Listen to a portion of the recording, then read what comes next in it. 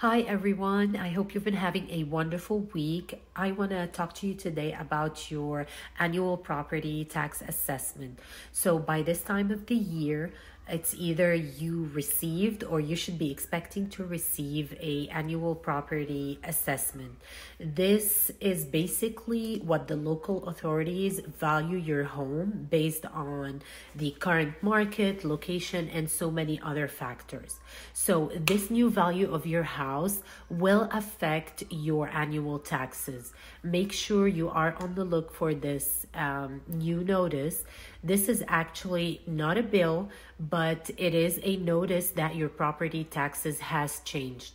Um, make sure to contact your lender to see what is the best way to pay your property taxes. You have the option to pay it upfront for the whole year and close this escrow gap, or you can enroll it into um, payments within your mortgage every month. If you have any additional questions or inquiries, please don't hesitate to reach out. Have a wonderful day.